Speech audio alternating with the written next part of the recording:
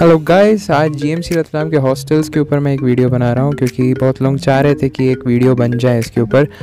तो शुरुआत girls hostel से करते हैं। गर्ल्स हॉस्टल का एंट्री आप देख सकते हैं कि कैसा है। बहुत ही शानदार है जीएमसी रतलाम का। और गर्ल्स हॉस्टल के एंट्रेंस के सामने ही जस्ट पार्किंग दी गई है। स्कूटी या कुछ भी आपको पार्क करना हो तो आप कर सकते हैं। घुसते से ही लेफ़्ट लेंगे तो आपको मेस मिल जाएगा नीचे वाटर कूलर के साथ। मेस का खाना यहाँ पे नॉर्मल है। एक्स्ट्रा तो नहीं कहेंगे, पर हाँ खाने लायक है। और हफ़्ते में दो बार स्पेशल खाना बनता है, कभी दाल बाटी, पूड़े छोले, पनीर, आलू का पराठा, सब प्राप्त हो जाता है यहाँ पे।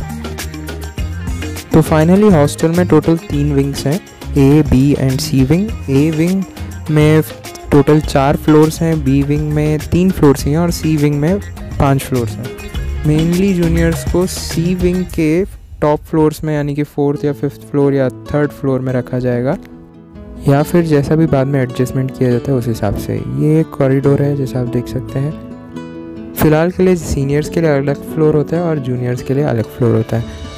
और वाटर कूलर सी विंग में सिर्फ़ सेकेंड फ्लोर में है। बाकी टॉयलेट्स बुरे नहीं हैं, देख सकते हैं आप, और वेस्टर्न टॉयलेट की भी सुविधा है। यदि हम फिर रूम्स की बात करें तो मोस्टली अभी डबल शेयरिंग रूम में ही रखेंगे और आपको साथ ही साथ टेबल चेयर बेड अलमारी और पंखा आपको हॉस्टल की तरफ़ से ही मिल जाएगा। बाकी मेनली हॉस्टल का फ़ीस बहुत ही कम में निपट जाता है और सस्ता भी रहता है। मेनली सब लोग इसलिए चुनते हैं हॉस्टल को और साथ ही साथ दोस्तों का साथ रहता है तो और मज़ा आता है। सबके साथ एक साथ रूम में बैठ सकते हैं, खेल सकते हैं, कूद सकते हैं, सब कर सकते हैं।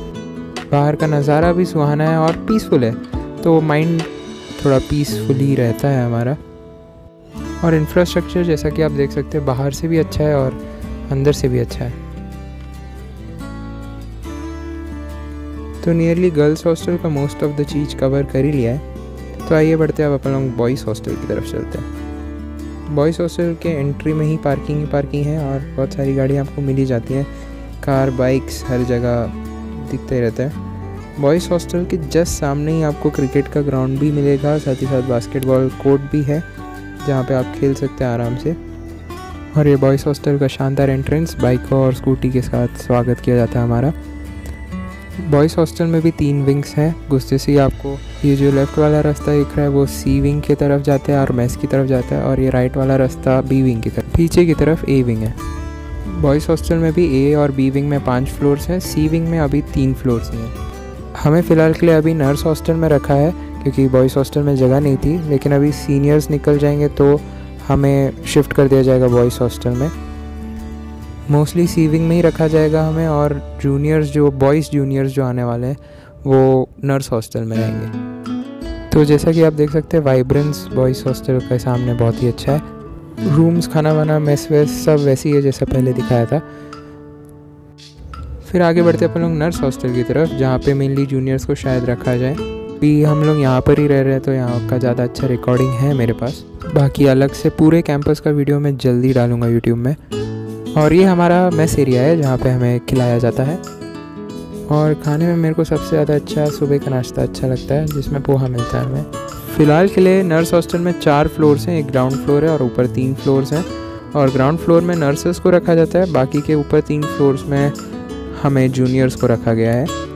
सभी को रूम में वही बेड, चेयर सब प्रोवाइडेड है गवर्नमेंट की तरफ़ से तो उसके लिए अलग सा खर्चा नहीं करना पड़ेगा।